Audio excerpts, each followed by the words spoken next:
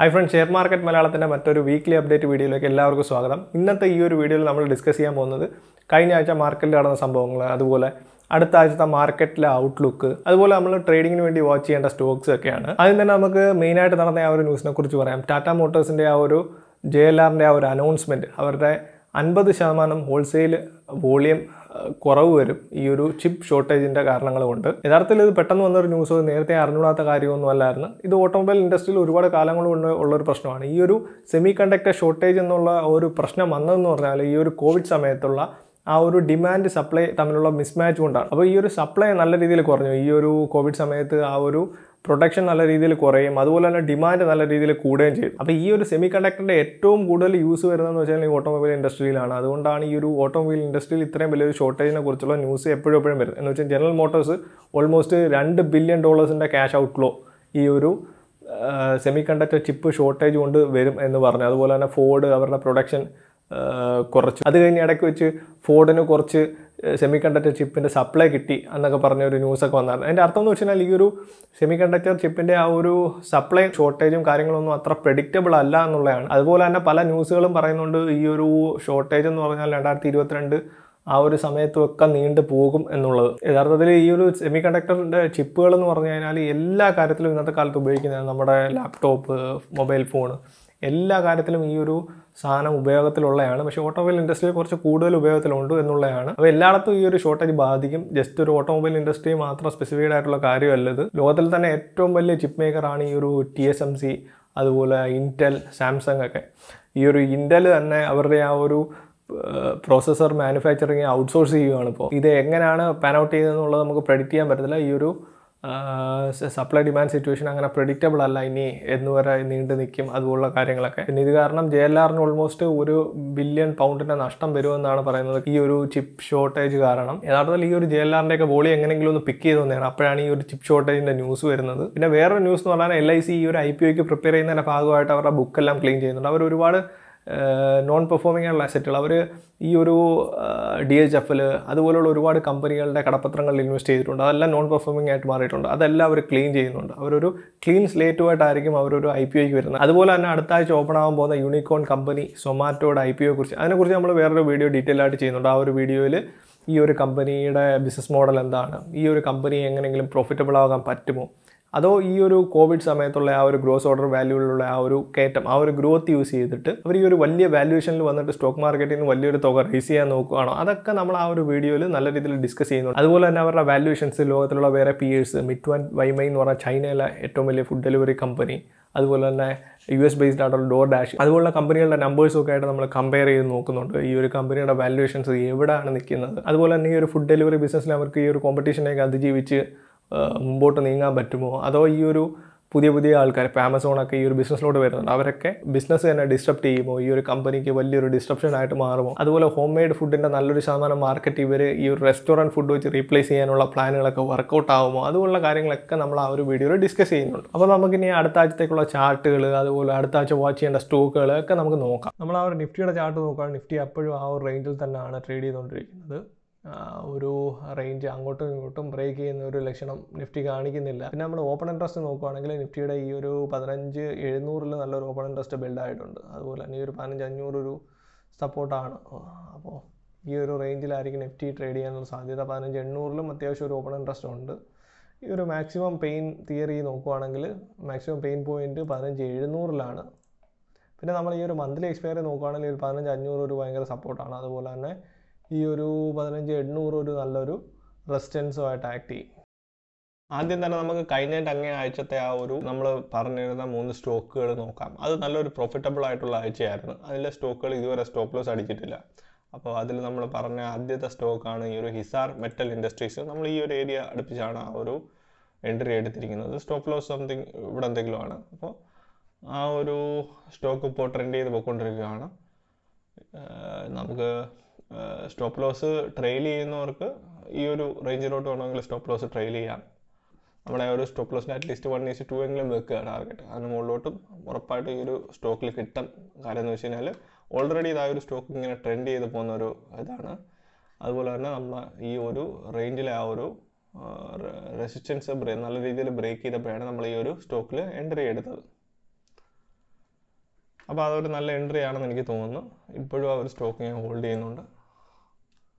അടുത്തത് നമ്മൾ നോക്കിയിരുന്നത് ശാരദ മോട്ടറാണ് ശാരദ മോട്ടർ ഇൻഡസ്ട്രീസിന്റെ ചാർട്ട് നോക്കുകയാണെങ്കിൽ നമ്മുടെ എൻട്രി എന്ന് വെച്ച് കഴിഞ്ഞാൽ ഈ ഒരു ഏരിയ ആണ്. അത് ഏറ്റവും നല്ലൊരു പിക്കായിരുന്നു കഴിഞ്ഞ ആഴ്ചത്തെ.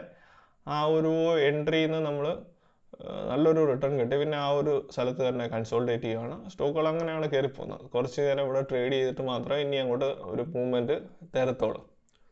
അപ്പോൾ നമ്മൾ നമ്മുടെ സ്റ്റോപ്പ് ലോസ് നല്ലപോലെ ട്രെയിൽ ചെയ്ത് പോവുക. അല്ലെങ്കിൽ ഒരു നെഗറ്റിവിറ്റി നല്ലൊരു നെഗറ്റീവ് കാണിക്കുമ്പോൾ നമുക്ക് വേണമെങ്കിൽ എക്സിറ്റ് ചെയ്യാം. ഇതൊക്കെ ഒരു മാർക്കറ്റിന്റെ അന്നത്തെ ആ ഒരു വോളറ്റിലിറ്റിയാണ് ഈ ഒരു ക്യാൻഡിൽസിലെല്ലാം റിഫ്ലക്റ്റ് ചെയ്യുന്നത്. പക്ഷേ ഈ ഒരു സ്റ്റോക്കിൽ ഒരു വലിയ നെഗറ്റിവിറ്റി ഇതുവരെ കാണിച്ചിട്ടില്ല. അപ്പോൾ നമുക്ക് അതിനുവേണ്ടി വെയിറ്റ് ചെയ്യാം. അല്ലെങ്കിൽ നമ്മുടെ സ്റ്റോപ്പ് ലോസ് ഹിറ്റ് ചെയ്യുമ്പോൾ നമുക്ക് എക്സിറ്റ് ആവാം. ഓക്കെ അതിന് ശേഷം നമ്മൾ ഡിസ്കസ് ചെയ്തൊരു സ്റ്റോക്കാണ് വണ്ടർല വണ്ടർലയിൽ കുറച്ച് ഇൻട്രസ്റ്റിംഗ് ആയിട്ടുള്ള കാര്യങ്ങളാണ് സംഭവിച്ചത്. വണ്ടർല എന്നുള്ള സ്റ്റോക്ക് നമ്മൾ ഡിസ്കസ് ചെയ്തത് ഈ ഒരു ഏരിയ ഈ ഒരു ഏരിയയിൽ ബ്രേക്ക് ഔട്ട് ചെയ്യും എന്നുള്ള രീതിയിലാണ് നമ്മൾ ഡിസ്കസ് ചെയ്തത്. പക്ഷേ അത് ബ്രേക്ക് ചെയ്തില്ല. അപ്പോൾ നമ്മൾ ഒരാഴ്ച അടുത്ത ആഴ്ച വെയിറ്റ് ചെയ്തു. അടുത്ത ആഴ്ച നമ്മൾ ഇതിനെക്കുറിച്ച് ഡിസ്കസ് ചെയ്തു. പക്ഷേ അന്നും ബ്രേക്ക് ചെയ്തില്ല. അപ്പോൾ പക്ഷേ കഴിഞ്ഞ ആഴ്ച ഈ ഒരു സ്റ്റോക്ക് ഇവിടെ നിന്ന് ആ ഒരു റേഞ്ച് നല്ല രീതിയിൽ ബ്രേക്ക് ചെയ്യും നമ്മുടെ എൻട്രി ഈ ഒരു സംഭവം ബ്രേക്ക് ചെയ്യുമ്പോഴാണ് എടുക്കേണ്ടത്. അപ്പോൾ ആ ഒരു സ്ഥലത്ത് നല്ലൊരു എൻട്രി നമുക്ക് കിട്ടിയിട്ടുണ്ട്. വണ്ടല്ല ഇപ്പോൾ അത്യാവശ്യം നല്ലൊരു ഗെയിംസിലാണ് ട്രേഡ് ചെയ്യുന്നത്. പിന്നെ ഒരു ചെറിയൊരു റെഡ് കാൻഡിൽ കാണുന്നുണ്ട്. അത് മാർക്കറ്റിന്റെ ആണ്. അത് ഉറപ്പായിട്ടും ഇവിടുന്ന് നേരെ ഇങ്ങനെ കയറി പോവില്ല എന്തായാലും വണ്ടല്ല ഇനി ഈ ഒരു റേഞ്ചിൽ കുറച്ച് നാൾ ട്രേഡ് ചെയ്തതിന് ശേഷം മാത്രമേ മുകളിലോട്ടൊരു മൂവ്മെന്റ് കിട്ടത്തുള്ളൂ. നമ്മുടെ സ്റ്റോപ്പ് ലോസ് ഈ ഒരു ക്യാൻഡലിന്റെ താഴെ ഇവിടെ ആയിരിക്കണം. അല്ലെങ്കിൽ ഈ ഒരു സ്വിംഗ് ലോയും വേണമെങ്കിൽ കീപ്പ് ചെയ്യും. അപ്പോൾ ആ ഒരു സ്റ്റോപ്പ് ലോസ് കീപ്പ് ചെയ്യുന്ന കണക്കാണ് ഇതൊരു കുറച്ച് നാളത്തേക്കുള്ള ട്രേഡാണ് കുറച്ച് നാൾ എടുക്കും ഈ ഒരു സ്വിംഗ് ട്രേഡിൽ നമ്മൾ ഈ സ്റ്റോപ്പ് ലോസ് ട്രെയിൽ ചെയ്ത് പോവുകയാണെങ്കിൽ ലാഭം കിട്ടാൻ വേണ്ടിയിട്ട് ആ ഒരു രീതിയിൽ വേണം ഈ ഒരു സ്റ്റോക്കിൽ ട്രേഡ് എടുക്കാൻ. കാരണം എന്ന് വെച്ചാൽ ഇതൊരു ലോങ് ടേം ബ്രേക്ക് ഔട്ടാണ് നമ്മുടെ.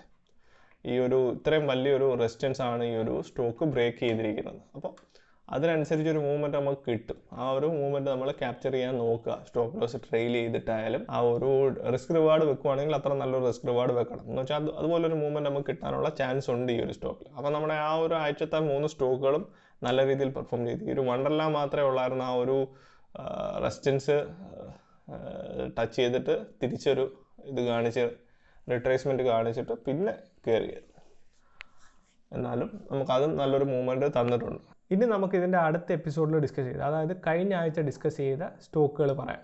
അന്ന് നാല് സ്റ്റോക്കുകളാണ് നമ്മൾ ഡിസ്കസ് ചെയ്തത്. അതിൽ ആദ്യത്തെ സ്റ്റോക്കാണ് ക്രസ്റ്റ് വെഞ്ചേഴ്സ് ക്രസ്റ്റ് വെഞ്ചേഴ്സ് ഈ ഒരു റെസിസ്റ്റൻസ് ഏരിയ രണ്ട് സ്ട്രോങ് ആയിട്ടുള്ള ക്യാൻഡിൽ വെച്ചിട്ട് ബ്രേക്ക് ചെയ്തിട്ടുണ്ട്. അപ്പോൾ നമ്മുടെ എൻട്രി ഓൾമോസ്റ്റ് ഇവിടെ ആണ് അപ്പോൾ ഇവിടുന്ന് കുറച്ചൊരു മൂവ്മെന്റ് കിട്ടിയിട്ടുണ്ട് ക്രസ്റ്റ് വെഞ്ചേഴ്സിൽ നമ്മുടെ ആ ഒരു സ്റ്റോപ്പ് ലോസ് ഇവിടെ തന്നെ മെയിന്റെയിൻ ചെയ്യുക ഭയങ്കര അഗ്രസീവായിട്ട് സ്റ്റോപ്പ് ലോസ് ട്രെയിൽ ചെയ്യേണ്ട കാര്യമില്ല. നല്ലൊരു ടെക്നിക്കലായിട്ടുള്ള ഒരു പോയിന്റ് ഇനി വരുന്ന സമയത്ത് നമുക്ക് ആ ഒരു പോയിന്റിലോട്ട് സ്റ്റോപ്പ് ലോസ് ട്രെയിൽ ചെയ്ത് പോകാവുന്നതാണ്. പിന്നെ നമ്മൾ ഡിസ്കസ് ചെയ്തൊരു സ്റ്റോക്കാണ് ഒബ്രോയ് റിയാലിറ്റി ഒബ്രോയ് റിയാലിറ്റി ഇതാ ഈ ഒരു റെസിസ്റ്റൻസ് ഒത്തിരി നാൾ കൊണ്ടുള്ള റെസിസ്റ്റൻസ് ആണ്. ആ ഒരു റെസിസ്റ്റൻസ് ബ്രേക്ക് ചെയ്ത് ഇവിടുന്ന് പോയി. അതിനുശേഷം റിട്രേസ് ചെയ്ത് ആ ഒരു റെസിസ്റ്റൻസ് ഒരു സപ്പോർട്ടായിട്ട് ആക്ട് ചെയ്യുന്ന രീതിയിൽ അവിടെ വീണ്ടും തട്ടിയിട്ട് തിരിച്ച് പോകുന്ന ആ ഒരു സമയത്താണ് നമ്മൾ ഡിസ്കസ് ചെയ്തത്. നമ്മൾ ഈ ഒരു ക്യാൻഡിൽ ആ ഒരു സമയത്താണ് ഡിസ്കസ് ചെയ്തത്. അപ്പോൾ ഇവിടുത്തെ ആ ഒരു സ്റ്റോക്ക് പിന്നെയും കുറച്ചുകൂടെ കയറിയിട്ടുണ്ട്. അപ്പോൾ നമ്മുടെ സ്റ്റോപ്പ് ലോസ് ഈ ഒരു സ്വിങ് ലോയ്ക്ക് താഴെ ആയിരിക്കും അപ്പോൾ നമ്മൾ ആ ഒരു സ്റ്റോപ്പ് ലോസ് മെയിന്റെയിൻ ചെയ്യുക. ഇനി ഇവിടുന്ന് കയറാൻ കുറച്ച് നേരം എടുക്കും. എന്തൊരു റെസിസ്റ്റൻസ് ആയിട്ട് ആക്ട് ചെയ്യും. ഇവിടുന്ന് കുറച്ച് നേരം ട്രേഡ് ചെയ്തിട്ട് മാത്രമേ ഇനി ഒരു സ്റ്റോക്ക് കയറത്തുള്ളൂ. അപ്പോൾ നമ്മൾ അതിനുവേണ്ടി വെയിറ്റ് ചെയ്യുക. ഇത് കുറച്ച് നേരം എടുക്കും ഈ ഒരു ട്രേഡ് അതുപോലെ നമ്മളെ സ്റ്റോപ്പ് ലോസ് മെയിന്റെയിൻ ചെയ്യേണ്ടത് നല്ലൊരു ഏരിയയിലാണ് ഈ ഒരു ഏരിയ നല്ലൊരു സപ്പോർട്ടായിട്ട് ആക്ട് ചെയ്യും. അപ്പോൾ ഈ ഒരു സ്വിങ് ലോക്ക് താഴെ ക്ലോസിങ് വന്നു കഴിഞ്ഞാൽ നമുക്ക് അപ്പോൾ എക്സിറ്റ് ചെയ്യാനും പറ്റും. പിന്നെ നമ്മൾ ഡിസ്കസ് ചെയ്തൊരു സ്റ്റോക്കാണ് ജ്യോതി ലാബ്സ് ജ്യോതി ലാബ്സ് ഒത്തിരി നാളത്തെ ആ ഒരു റെസിസ്റ്റൻസ് ബ്രേക്ക് ചെയ്തിട്ട് കയറിയപ്പോഴാണ് ഈ ഒരു ക്യാൻഡലിലാണ് നമ്മൾ ഡിസ്കസ് ചെയ്തത്. അവിടെ നിന്ന് ആ ഒരു ക്യാൻ സ്റ്റോക്ക് കയറിയിട്ട് അടുത്ത ദിവസം വലിയൊരു ക്യാൻഡിൽ തന്നെ കിട്ടി. പക്ഷേ അവിടുന്ന് ചെറിയൊരു റിട്രേസ്മെന്റ് എടുക്കുന്നുണ്ട്. നമ്മുടെ സ്റ്റോപ്പ് ലോസ് ഒന്നെങ്കിൽ ഈ ഒരു സ്വിങ്ങിൽ ലോയിൽ കീപ്പ് ചെയ്യാം. അല്ലെങ്കിൽ ഈ ഒരു രണ്ട് ക്യാൻഡലിന്റെ താഴെ വേണമെങ്കിൽ കീപ്പ് ചെയ്യാം. പക്ഷേ അത് നമ്മുടെ റിസ്ക് റിവാർഡ് അനുസരിച്ച് നമുക്ക് കീപ്പ് ചെയ്യാം. ഈ ഒരു സ്റ്റോക്കിൽ നമുക്ക് വെയിറ്റ് ചെയ്യാം. ഈ ഒരു സ്റ്റോക്ക് നല്ല രീതിയിൽ പെർഫോം ചെയ്തിട്ടുണ്ട്. അടുത്ത ദിവസം വലിയൊരു മൂവ്മെന്റ് കിട്ടിയതുകൊണ്ട് പിന്നെ നമുക്ക് വെയിറ്റ് ചെയ്യാം ഇനിയിപ്പോൾ ഈ ഒരു സ്റ്റോക്ക് പിന്നെ മാർക്കറ്റും അത്ര നല്ല രീതിയിലല്ലായിരുന്നു. അപ്പോൾ അതുകൊണ്ട് ഇവിടെ നിന്ന് വലിയൊരു മൂവ്മെന്റ് കിട്ടാനുള്ള ചാൻസ് ഈ സ്റ്റോക്കിനില്ല പക്ഷേ നമ്മൾ നോക്കുവാണെങ്കിൽ ഈ ഒരു സ്റ്റോക്കിന് നല്ല ഈ ഒരു ഏരിയയിൽ നല്ലൊരു റെസിസ്റ്റൻസ് ഉണ്ട്. അത് നമ്മൾ നേരത്തെ അന്ന് തന്നെ പറഞ്ഞതാണ്. ഈ ഒരു ഇവിടെ ഒരു ഇത് വരച്ചിട്ടുണ്ടായിരുന്നു. അപ്പോൾ ഈ ഒരു ഏരിയയിൽ ആണ് ഈ ഒരു ഏരിയയോട് നോക്കുവാണെങ്കിൽ അവിടെ തന്നെ തട്ടിയിട്ടാണ് തിരിച്ചു പോകുന്നത്. അപ്പോൾ ആ ഒരു ഏരിയ ബ്രേക്ക് ചെയ്യാൻ കുറച്ച് ടൈം എടുക്കും. അപ്പോൾ നമ്മൾ ഒന്നെങ്കിൽ ഒരു സ്റ്റോക്ക് വെയിറ്റ് ചെയ്യുക സ്റ്റോപ്പ് ലോസ് മെയിന്റെയിൻ ചെയ്തിട്ട് ഈ ഒരു സ്റ്റോക്ക് വാച്ച് ചെയ്യണം നമ്മൾ. എന്നിട്ട് ആ ഒരു റേഞ്ച് ബ്രേക്ക് ചെയ്യാൻ വേണ്ടിയിട്ട് നമ്മൾ വെയിറ്റ് ചെയ്യണം ഈ ഒരു സ്റ്റോക്കിൽ പിന്നെ നമ്മൾ ഡിസ്കസ് ചെയ്തൊരു സ്റ്റോക്കാണ് B S C B S C ഇതാണ്ട് ഈ ഒരു റെസിസ്റ്റൻസ് ബ്രേക്ക് ചെയ്ത് മുകളിലോട്ട് പോയിട്ട് പിന്നെ റിട്രേസ് ചെയ്ത് ആ ഒരു റെസിസ്റ്റൻസിൽ വീണ്ടും ഒരു സപ്പോർട്ട് എടുത്തപ്പോഴാണ് നമ്മൾ ഈ ഒരു സ്റ്റോക്ക് ഡിസ്കസ് ചെയ്തത്. അവിടെ നിന്ന് ആ ഒരു സ്റ്റോക്ക് നല്ലൊരു മൂവ്മെന്റ് തന്നിട്ടുണ്ട്. നമ്മൾ ആ ഒരു സ്റ്റോപ്പ് ലോസ് മെയിന്റെയിൻ ചെയ്തിട്ട് ഈ ഒരു ട്രേഡ് ഹോൾഡ് ചെയ്യുക.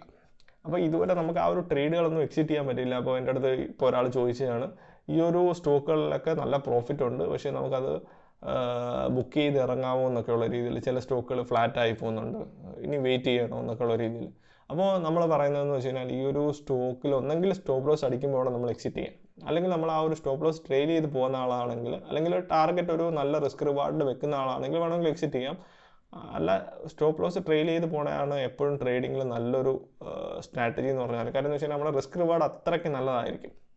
അപ്പോൾ അങ്ങനെ ഒരു നമ്മളൊരു നല്ല ട്രേഡർ ആവണമെന്നുണ്ടെങ്കിൽ നമുക്ക് എക്സ്പെക്റ്റഡ് വാല്യൂ കൂടുതലായിരിക്കണം നമ്മൾ ചെയ്യുന്ന ട്രേഡുകളിൽ എക്സ്പെക്റ്റഡ് വാല്യൂ നല്ലതായിരിക്കണമെങ്കിൽ രണ്ട് ഫാക്ടേഴ്സാണ് അതിൽ വരുന്നത്. ഒന്നെന്ന് പറഞ്ഞാൽ സക്സസ് റേഷ്യോ രണ്ടെന്ന് പറഞ്ഞാൽ നമ്മുടെ ആ ഒരു റിസ്ക് റിവാർഡ് സക്സസ് റേഷ്യോയും റിസ്ക് റിവാർഡിന്റെ ഒരു കോമ്പിനേഷനാണ് എക്സ്പെക്റ്റഡ് വാല്യൂ എന്ന് പറഞ്ഞാൽ സക്സസ് റേഷ്യോ ഒരുപാട് കൂടിയ സ്ട്രാറ്റജികളും ഉണ്ട് ഒരുപാട് കുറഞ്ഞ സ്ട്രാറ്റജികളും ഉണ്ട് പക്ഷേ അതിനനുസരിച്ചായിരിക്കണം നമ്മുടെ റിസ്ക് റിവാർഡ് വെക്കേണ്ടത്. നമ്മുടെ സക്സസ് റേഷ്യോ അത്യാവശ്യം നല്ലതാണ് നമ്മുടെ റിസ്ക് റിവാർഡും അത്യാവശ്യം നല്ല രീതിയിൽ നിൽക്കുന്ന കണക്കുള്ള ഒരു സ്ട്രാറ്റജിയാണ് നമ്മൾ യൂസ് ചെയ്യുന്നതെങ്കിൽ നമുക്ക് ലോങ് റണ്ണിൽ ഭയങ്കര സക്സസ് ആയിരിക്കും ട്രേഡിങ്ങിൽ.